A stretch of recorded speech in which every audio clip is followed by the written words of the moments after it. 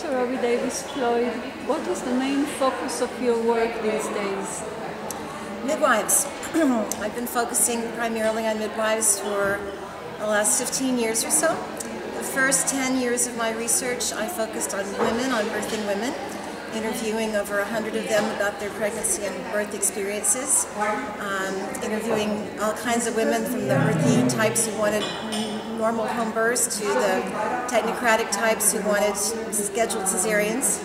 And um, after a while, I kind of reached redundancy with that. I pretty much heard about everything women could tell me, it seemed, and I had started being asked to speak at midwifery conferences at that point, and I kind of fell in love with midwives because I realized that they're really the only ones that actually can make a difference in childbirth. They're the only practitioners that make an effort to really give women women a full spectrum of choice. so I got interested in midwives in all their dimensions all over the world. Thank you very much. And uh, Dr. Robbie uh, Davis Floyd, um, what uh, do you think is the main change, the, the main step that should be taken now in order to improve birth all over the world? What's the crucial thing? We have to reform the education of obstetrician gynecologists.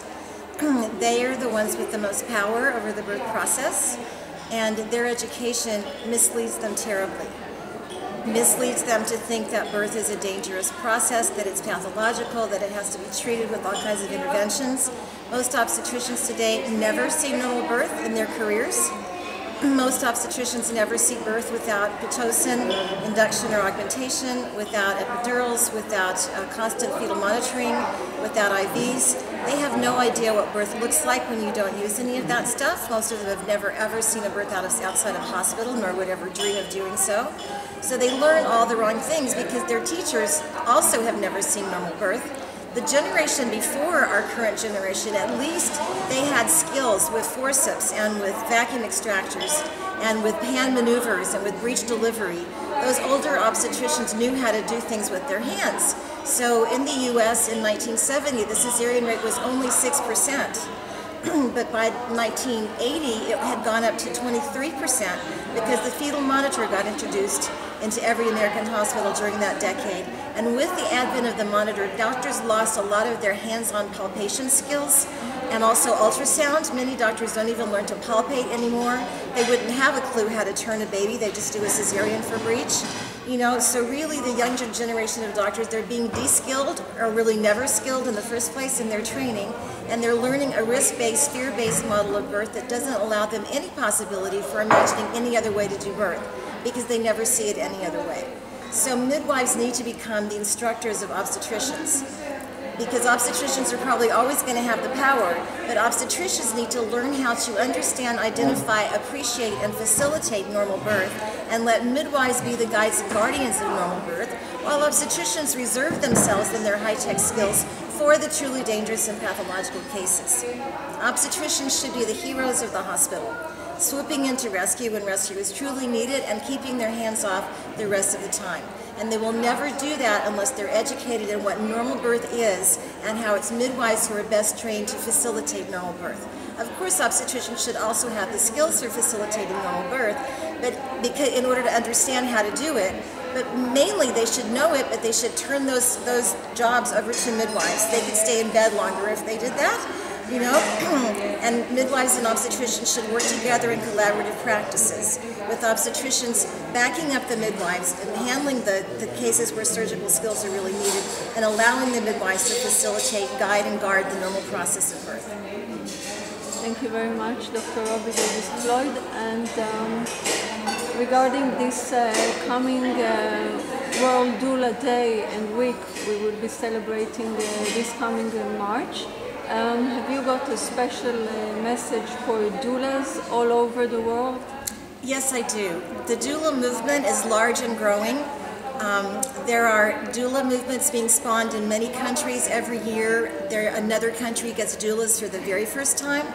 There has been criticism of doulas in my country that all they do is make women happy about bad birth experiences. But the truth is, and they actually do, doulas do do that, I would rather have a doula making a mother feel good about a bad experience than not have the doula there at all. so I applaud doulas, I celebrate the role that they play in facilitating women's birth experiences and supporting women psychologically, emotionally, physically, and spiritually. Midwives often don't have the time to do what doulas do for mothers. It's important for doulas to understand that the doula effect, as it's known scientifically, only holds if the doula is in the continuous presence of the mother through the entire labor. I mean, she can go to the bathroom and maybe grab a bite to eat, but if you rupture that energetic web that, that forms itself between mother and doula, too often or for too long, the doula effect does not hold across statistical studies. so it's very important if you're going to be a doula, commit to being there with the mother hands-on for the entire time. Go to the bathroom if you need to, because if you're holding it in, that'll just hold back the birth. but celebrate yourselves for the wonderful job you're doing taking care of mothers. Thank you very much. And uh, one last question. Question, uh, Dr. Robbie Davis Floyd.